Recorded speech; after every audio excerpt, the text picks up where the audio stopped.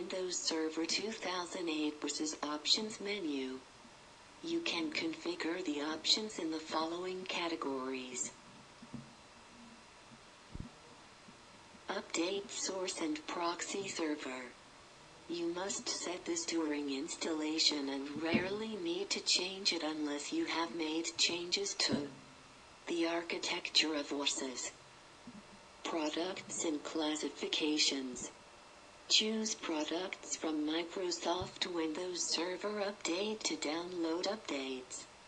We recommend upgrading these products when it begins to implement new Microsoft product or stop using an existing product.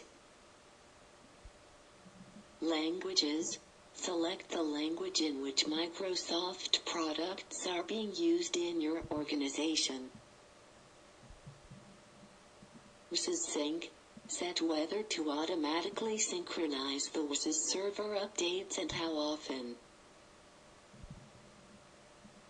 Automatic approvals. Configure automatic updates for your approval.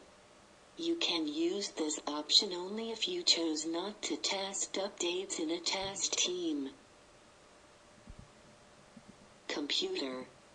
Select whether to place the teams into groups using the services console or upgrade group policy and registry settings. Up Wizard. Over time.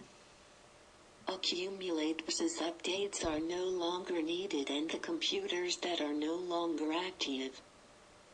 This wizard helps eliminate unnecessary and obsolete these updates and computers, freeing disk space. Reports then by default.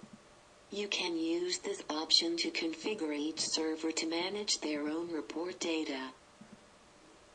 Email notifications. WSUS can email when new updates. Inform managers to be evaluated. Tested or declined updates.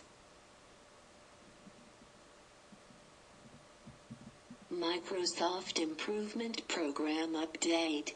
Disabled by default.